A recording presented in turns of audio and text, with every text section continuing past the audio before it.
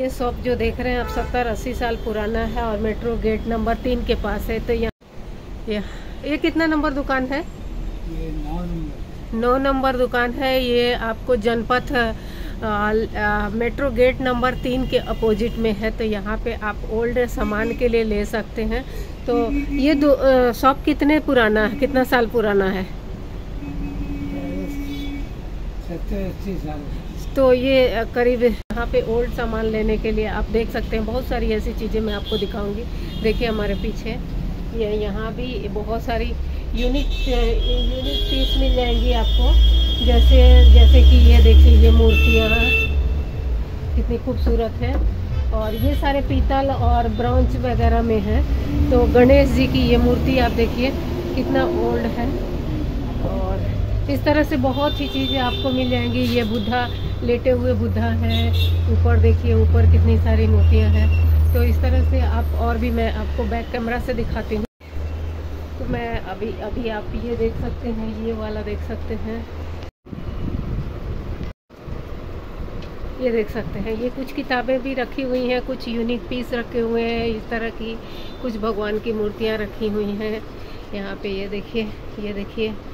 यहाँ पे ये फ्रॉग फ्रॉग बना हुआ है, ये है ये है, ये भगवान की मूर्तियाँ हैं, ये भगवान की मूर्तियाँ हैं, ये मूर्तियाँ हैं, ये देखिए ये देखिए ये देखिए।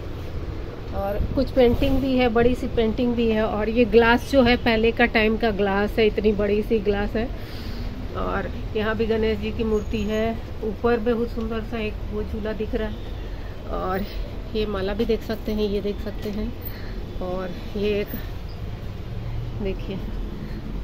और बहुत सारे सामान नहीं है इनका, और अगला भी शॉप है, और कुछ मालाएँ रखी हैं, कुछ ये बॉक्सेस रखे हुए हैं। तो यहाँ पे जब भी आना हो तो ये मूर्तियाँ, कृष्ण भगवान की ये मूर्तियाँ देखें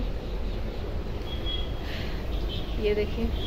और एक, ये बाउल बजा के दिखाएँगे क्या?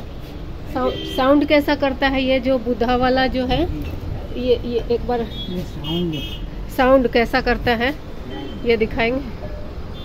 देखिए कितना खूबसूरत साउंड करेगा। इसका प्राइस क्या होगा? ढाई हज़ार। ढाई हज़ार का है और छोटा वाला कम का होगा है ना? एक बार ये वाला दिखा दीजिए ये क्या है और कितने की है ये। तो रेल व्हील इसको क्या बोलते हैं? प्रेयर विंग है ना? जी। तो ये कितने की है वैसे? एक हज़ार एक हज़ार की? अच्छा। अच्छा क्लॉकवाइज ये चलेगा।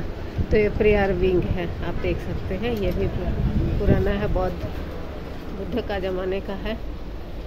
और ये कुछ मालाएँ हैं।